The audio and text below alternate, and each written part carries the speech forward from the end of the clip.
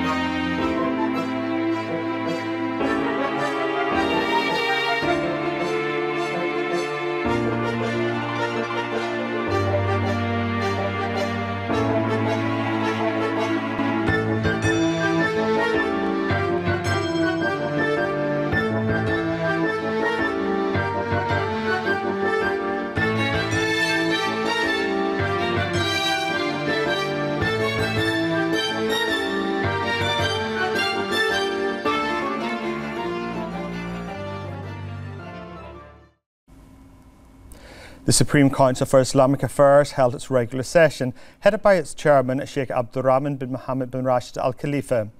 The Council congratulated His Majesty the King and His Royal Highness the Crown Prince and Prime Minister on the silver jubilee of His Majesty's accession to the throne. Sheikh Abdurrahman stressed that the comprehensive development process led by His Majesty with the follow-up of His Royal Highness the Crown Prince and Prime Minister, embody Bahrain's values, authentic identity and its ancient history to be an inspiring model of civilizational achievements and national gains that have been continuing since 25 years ago. The board expressed their gratitude to His Majesty's reception of them on the occasion of the holy month of Ramadan, expressing their appreciation and pride in His Majesty's appreciation of the Council's role in serving Islam pledging to His Majesty to meet his aspirations to serve religion, the homeland and values. The chairman expressed his appreciation for the sponsorship, support and interest in the country's worship places from His Majesty and His Royal Highness the Crown Prince and Prime Minister. Sheikh Abdurrahman praised the order of His Royal Highness to inaugurate, restore and develop 32 mosques in all governorates affiliated with the Sunni and Jafri Waqf directorates within the framework of the plan to develop mosques. He extended congratulations on the opening of these mosques. He valued the role of donators in reconstructing and providing care for mosques, expressing Bahrain's pride in their generous contributions to serve the religion, country and society. The Council reviewed a memorandum from the General Secretariat regarding the UN General Assembly's approval of the decision to combat hatred of Islam and expressed its welcome to this important decision appreciating the initiative of the Organisation of Islamic Cooperation to present this project. The meeting expressed aspirations that the implementation of the decision will contribute to reducing the extremist and racist orientations and ideas targeting Islam and Muslims around the world. The Council also reviewed the latest preparations to celebrate Laylat al Qadr and the closing ceremony of the 28th edition of the Bahrain Quran Grand Prize to be held on the blessed Laylat al Qadr at the Al Fateh Grand Mosque under the patronage of His Majesty the King.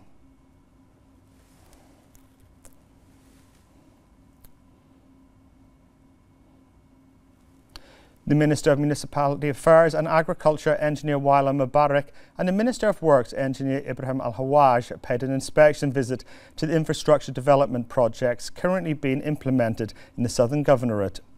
During the visit, Al Mubarak affirmed the continuation of development work in Al Dur Walkway, noting that the Khalifa City Souk project is in the planning stage.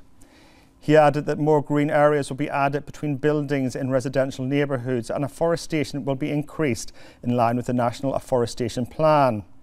Al Hawaj affirmed that the ministry will work on implementing a number of infrastructure development projects to enhance the quality of public services and meet the needs of the people. They reviewed the updates on the development of some roads and a number of projects that the Ministry of Works will implement in the 10th constituency of the Southern Governorate within the third package of road, sanitation and municipal projects. Three projects will be implemented to serve the housing area in Khalifa City, which will facilitate movement and access to the area.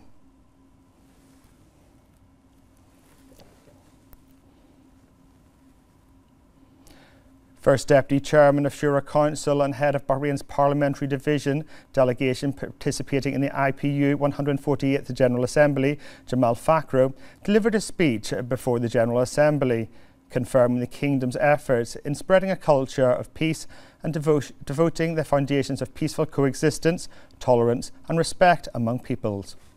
Fakhro pointed out that the legislative authority in Bahrain is determined to support international partnerships and constructive cooperation between parliaments, stressing the continuation of spreading Bahrain's civilizational message, which is based on a history of modernisation and peace. He pointed out that this message constitutes a beacon in religious, spiritual, and cultural coexistence and tolerance, which is a pivotal partner in the consolidation of international partnership. Fakhro said that the general discussion revolves around the role of parliamentary diplomacy in achieving peace and understanding between people and facing global challenges and achieving the goals of sustainable development. He noted the importance of the roles played by the parliamentary diplomacy in light of the current challenges.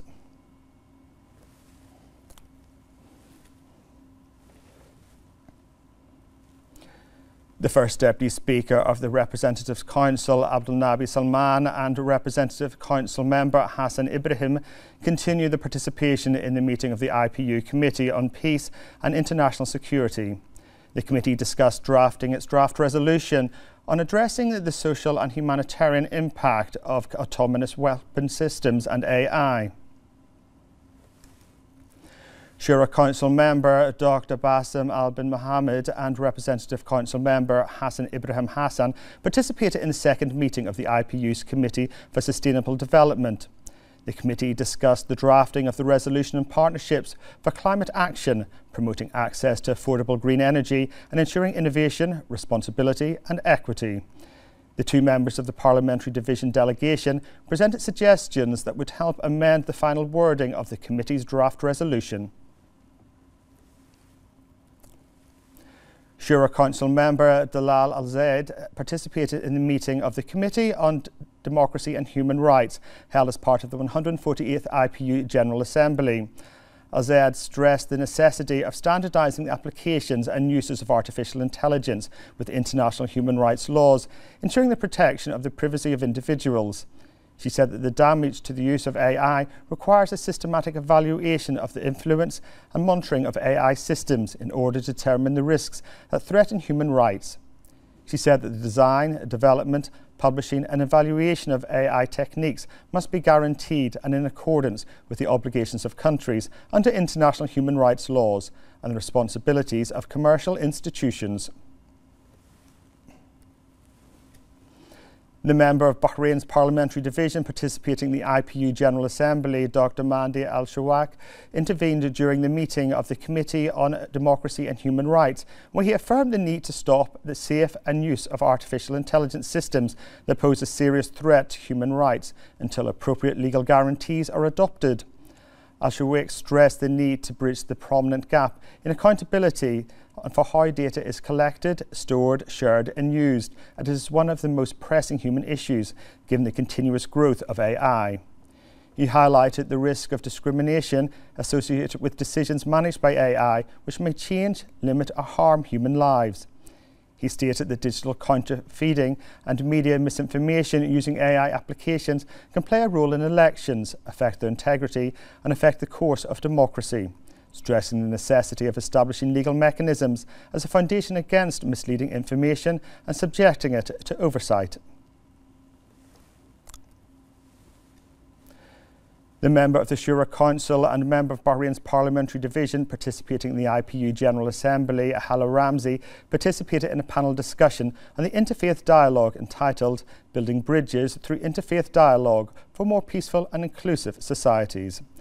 Ramzi affirmed that the comprehensive vision and humanitarian approach of His Majesty the King formed a basic starting point for many valuable initiatives in spreading peace she praised the support of His Royal Highness the Crown Prince Prime Minister to building partnerships and bolstering cooperation in friendly countries.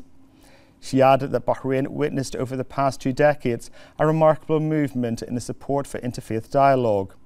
She noted that the Kingdom was keen to organise and host many international events supporting dialogue between sects and religions, noting that Bahrain is a model of peaceful coexistence and harmony between followers of different religions, sects, and cultures. The Secretary General of the Shura Council, Karim Al Abbasi, participated in the second meeting of the Association of Secretaries General of Parliaments. The meeting discussed innovations in Parliament and in relation between the academic world and parliaments.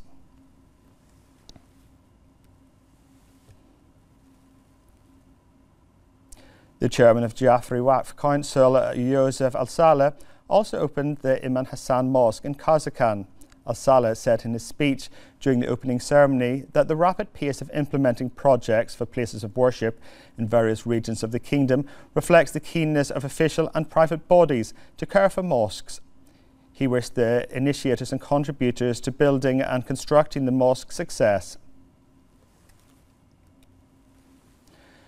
Chairman of the Sunni Endowments Council, Dr. Sheikh Rashid bin Mohammed Al Hajri, inaugurated the Adnan Ahmed Yusuf Abdul Malik Mosque in Bahrain Bay. The inauguration is in line with the directives of His Royal Highness the Crown Prince and Prime Minister to open, restore, and develop 32 mosques under the Sunni and Jafri Waqf, located across the kingdom's governorates as part of the development plan for mosques. Dr. Sheikh Rashid emphasised Bahrain's progress in expanding and reconstructing mosques affirming the kingdom's commitment to rebuilding houses of worship under the leadership of His Majesty the King and the continuous follow up of His Royal Highness. Dr. Sheikh Rashid expressed appreciation to Adnan Abdul Malik for a significant contribution to the mosque's construction. Arab Parliament Speaker Adel Al Asoomi confirmed that the celebration of Bahraini Youth Day is an important occasion to renew pride in the contributions of youth in all sectors. He stressed that Bahraini youth are supported by His Majesty the King, noting that the kingdom has become a leading model in empowering youth. He appreciated the government's efforts, headed by His Royal Highness the Crown Prince and Prime Minister, to highlight youth activity and energies. He praised the efforts of initiatives of His Highness Sheikh Nasser bin Hamad Al Khalifa to advance Bahraini youth capabilities as well as the contributions of His Highness Sheikh Khalid bin Hamad Al Khalifa in raising the efficiency of young athletes to make further accomplishments.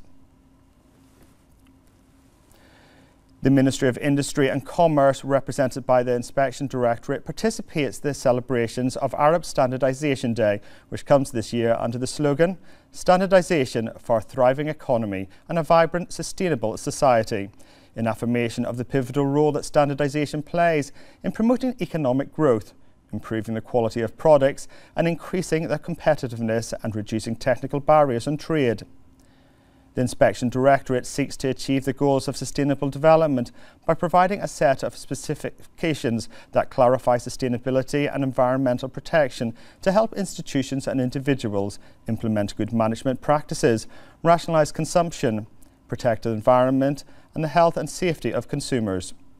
Bahrain is considered one of the leading countries in the field of standards at the regional level, for its system that ensures the application of the best international practices in this field, based on the belief that standardisation plays a pivotal role in supporting sustainable development goals.